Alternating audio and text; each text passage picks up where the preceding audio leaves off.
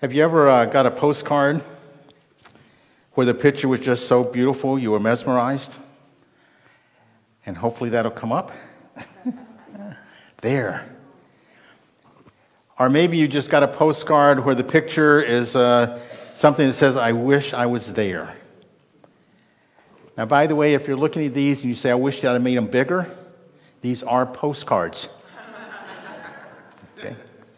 So a little smaller. Or maybe you got a postcard that you, when you look at it, you just don't think it's real and it doesn't exist. By the way, the first one was Denali, the second one was Diamond Head in Hawaii, and this is Victoria Falls. Or maybe you just get a postcard and you want to blow it up and hang it on the wall. And then there's the postcard where you really don't care what the picture is. It doesn't matter what's on the front of the postcard, it's what's on the rear of the postcard.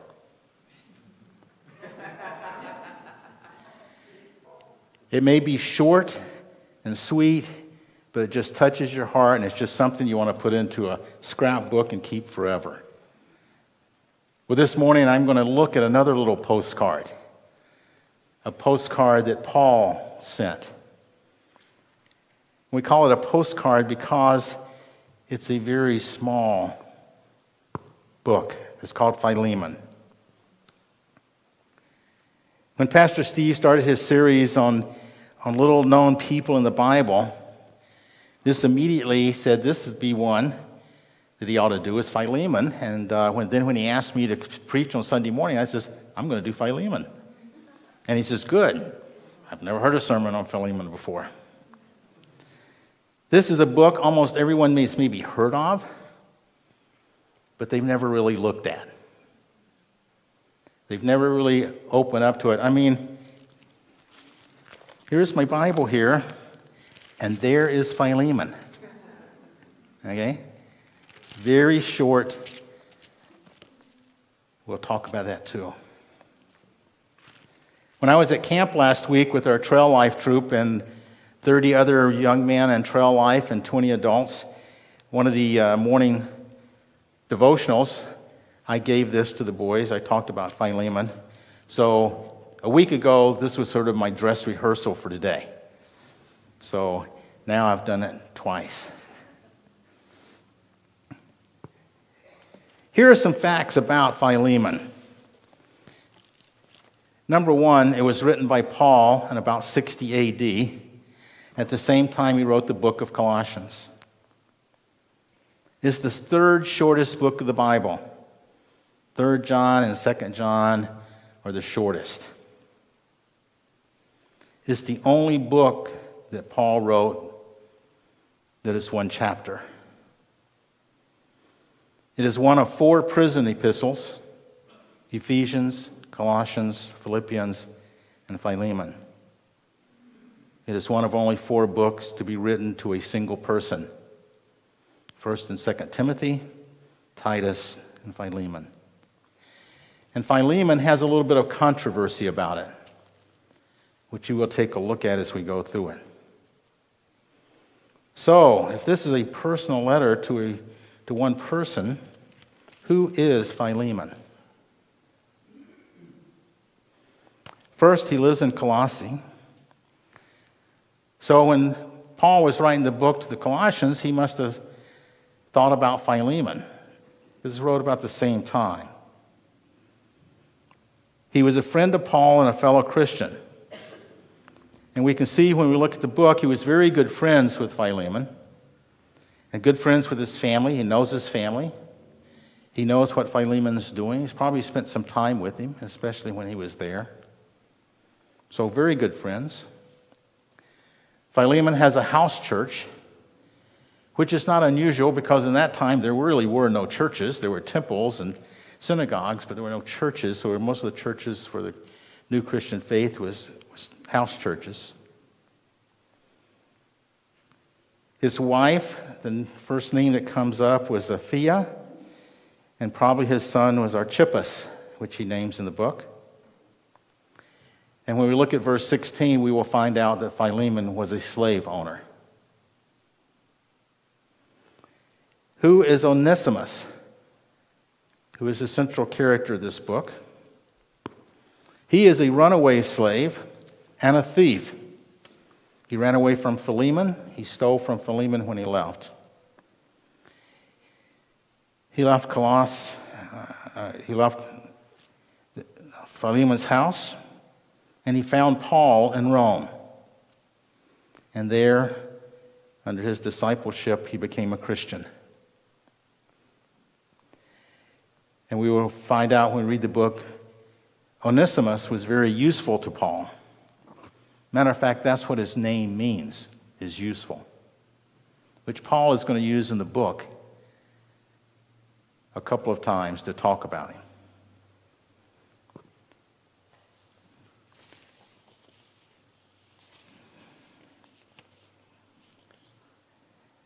So now let's look a little deeper.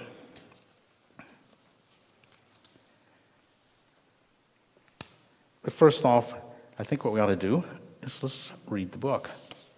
If everybody would turn to Philemon, it's in the New Testament. It's before Hebrews and right after Titus. You can look at it up here. You can turn in your Bible. You can go to your app. So many ways to, to look at this. And I will read it as you follow along. Paul, a prisoner of Christ Jesus, and Timothy, our brother, to Philemon, our dear friend and fellow worker, to Apphia, our sister, to Archippus, our fellow soldier, and to the church that meets in your house. Grace to you and peace from God our Father and the Lord Jesus Christ. I always thank my God as I remember you in my prayers, because I hear about your faith in the Lord Jesus and your love for all the saints. I pray that you may be active in sharing your faith so that you will have a full understanding of every good thing we have in Christ. Your love has given me great joy and encouragement because you, brother, have refreshed the hearts of the saints.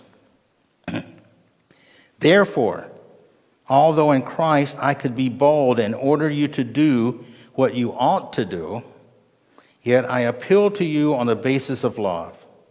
I then, as Paul, an old man and now also a prisoner of Christ Jesus, I appeal to you for my son Onesimus, who became my son while I was in chains.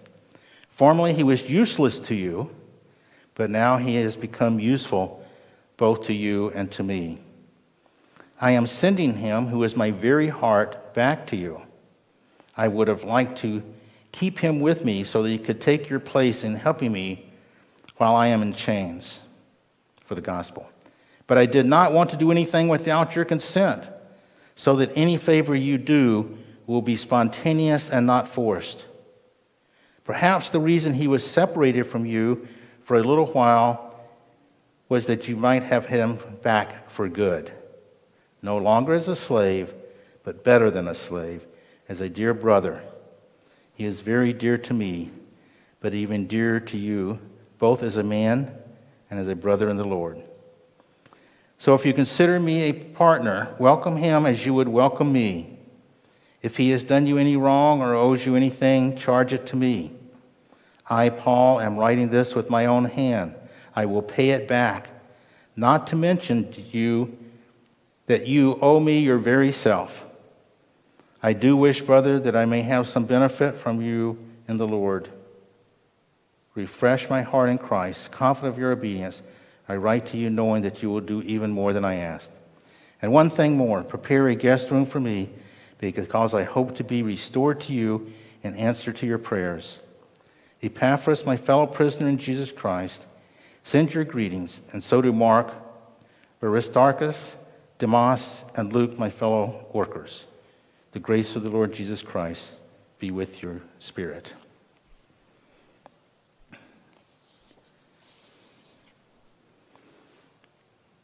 Now let's look at this and dig a little deeper.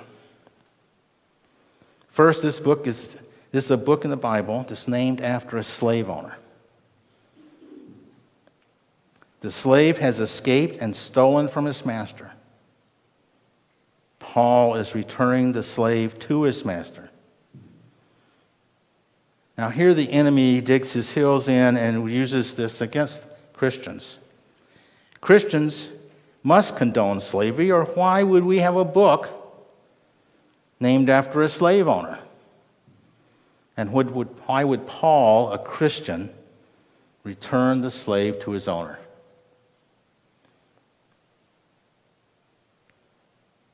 Why? First, those two little things are taken out of context with this book.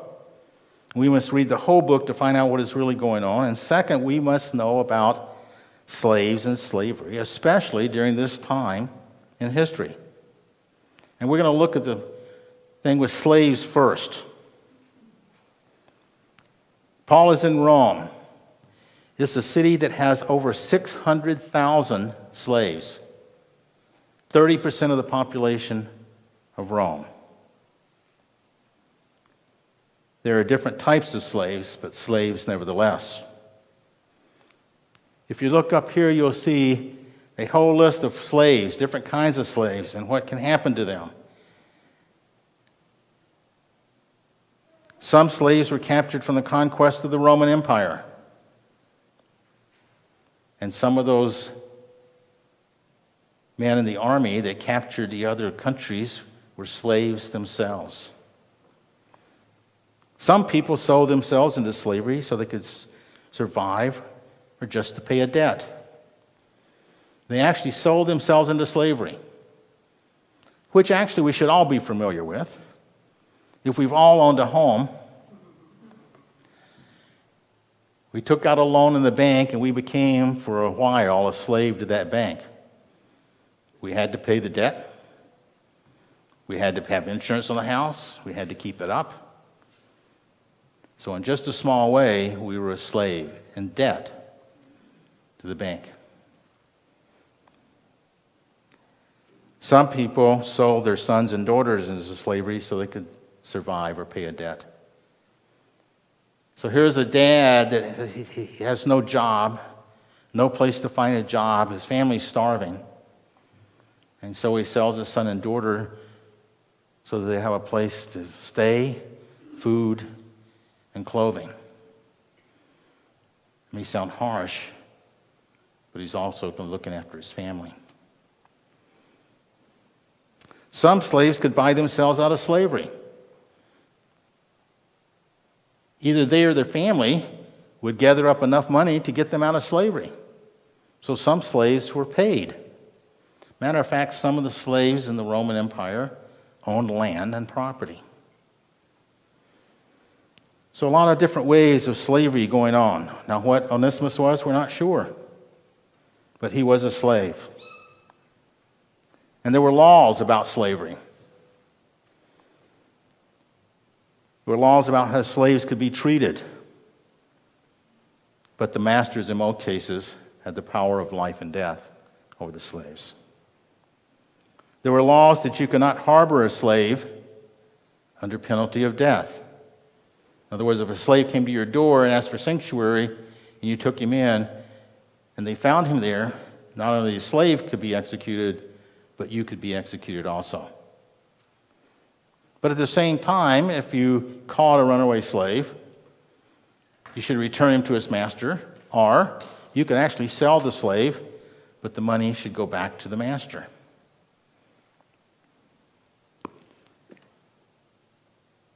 People were hired to find escaped slaves. They were sort of like bounty hunters. So here's Onesimus, a slave of Philemon. Not only does he escape, but he steals from his master, which is also a capital offense, can be punishable by death. So he sort of got two death sentences hanging over him. Paul is a very close friend of Philemon. He's probably stayed with him. He knows his family. He knows what's going on. So if Philemon, if Onesimus is in the same house, he's got to know Paul too. He's seen him as he's, Paul stayed with him. He knows about him. Onesimus escapes and he goes to Rome and he finds Paul. Paul takes him under his wing and he becomes a Christian. Coincidence? Did it just Onesimus just happen to go to Rome just happened to find Paul, who was a good friend of Philemon? Well, I think we know with God there are no coincidences. There are none.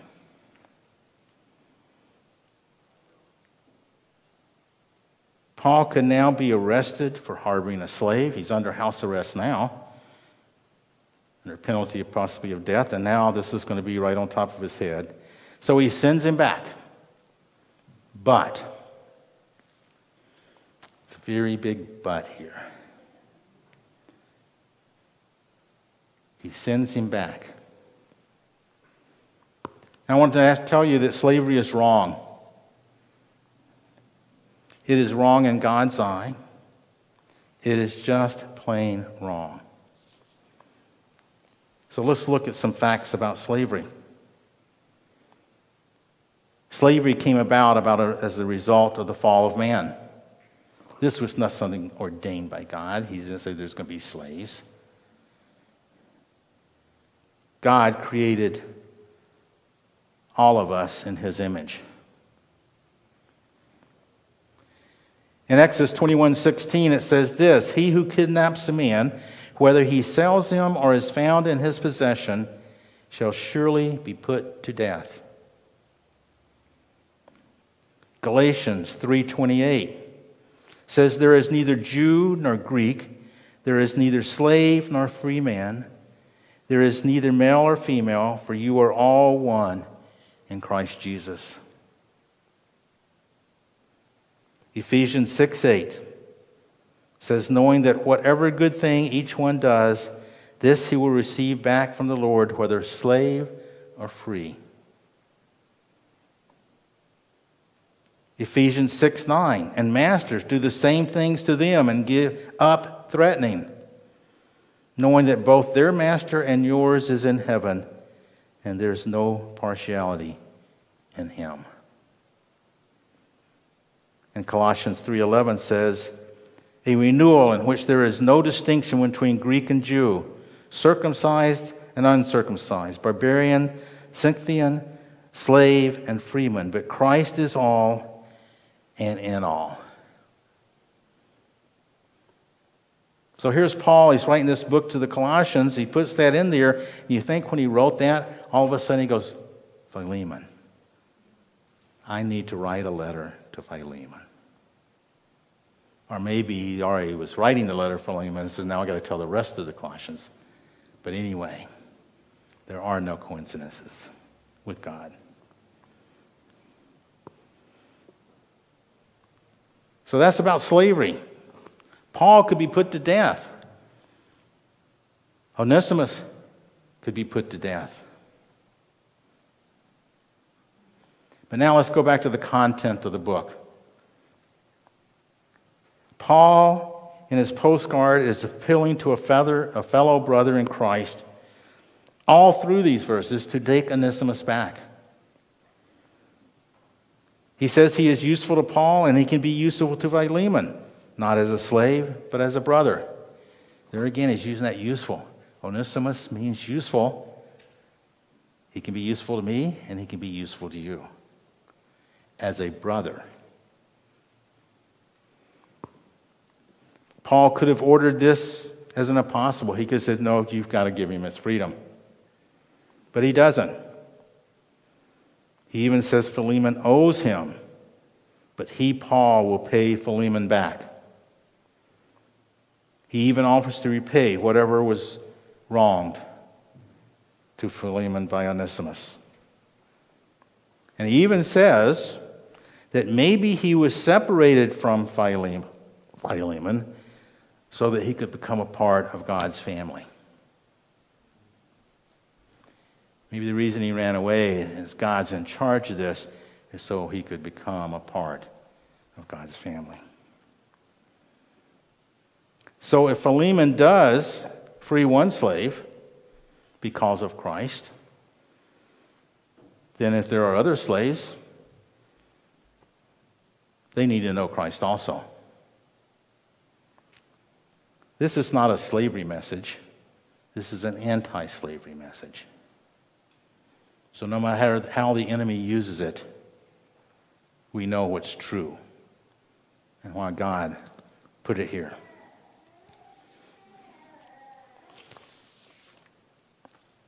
I also find it very interesting in this book this little postcard that we have find little snippets of the gospel message all throughout it. We were a slave to sin. And we were constantly, and we are constantly, running away from it. Just like Adam and Eve hid in the garden, we are trying to hide our sin constantly from God. We are constantly running away from what the truth is.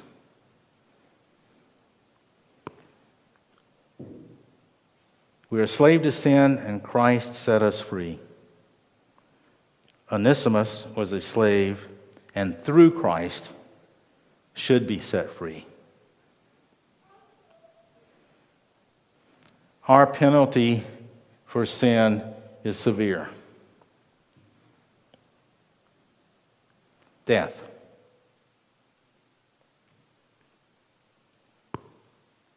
But Christ took our debt of sin and he took it all upon him.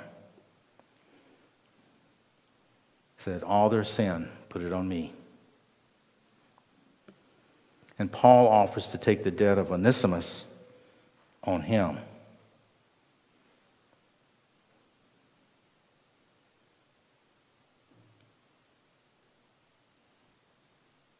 God accepts us back and he adopts us into his family. Paul is asking Philemon to accept Onesimus back and bring him into the family of Christ.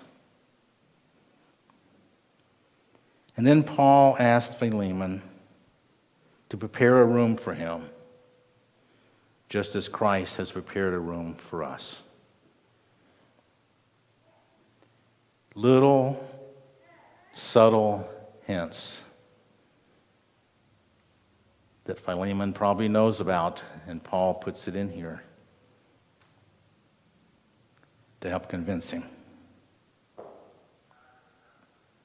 So, what happened? He sends Paul, he sends Onesimus back. Sends him back with Epaphras, but it doesn't say what happened. It doesn't tell us here, but if we take and we look at history, we find a few interesting little facts. About 30 years later, after this, this little postcard was written, 30 years later, Ignatius of Antioch makes a man called Onesimus the bishop of Ephesus. And we're not sure if it's the same Onesimus, but the timing is right. And if it's true, then the slave became a brother who became a bishop. And also through history, we know that someone named Onesimus, because of his beliefs in Christ, was beheaded by the Romans. And so some of the religious religions in the world today consider Onesimus a saint. The same one or a different one?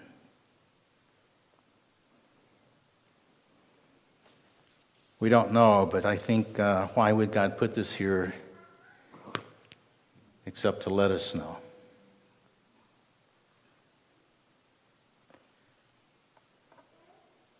This little bitty book.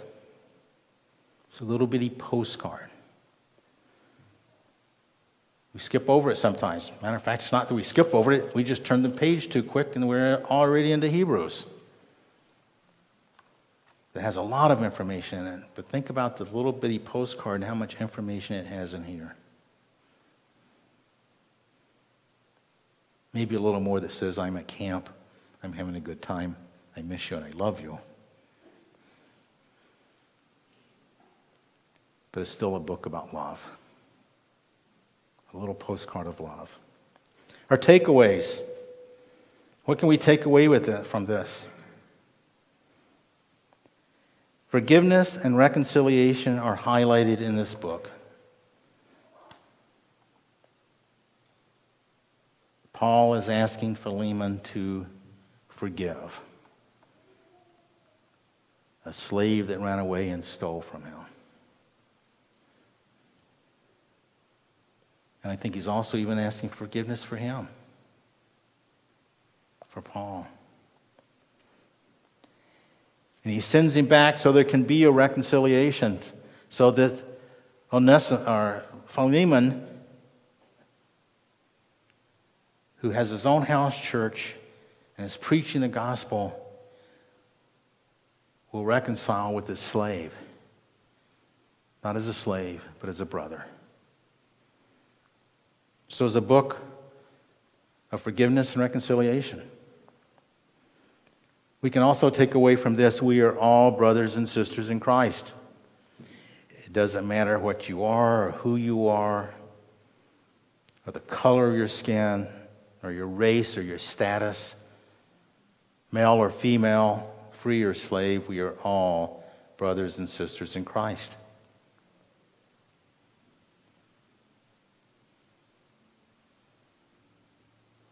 And there's a beautiful difference in this book. It shows the beautiful difference between law and grace. As Jesus pointed out so many times, what was the law? And what is grace? By law, Philemon could punish a runaway slave death. But through the Lord Jesus, master and slave could fellowship and love on an equal basis.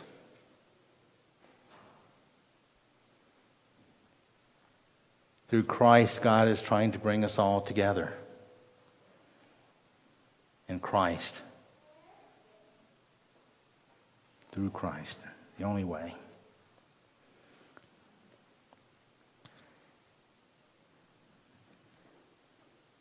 This little bitty postcard has a lot of stuff in it. Why did God put it there? Well, I hope we have a little better idea now. And by the way, while you're at it, you may want to take a look at some of those other little postcards. They're short too, but they're really full of a lot of good theology and good meaning. How should we live our lives? What should we do?